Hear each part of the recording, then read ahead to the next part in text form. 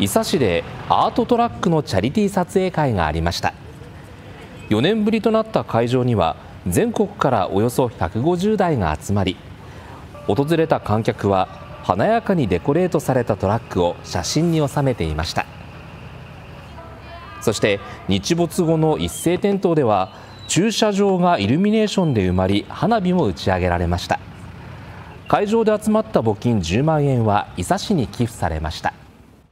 なトラックがあって綺麗なライト。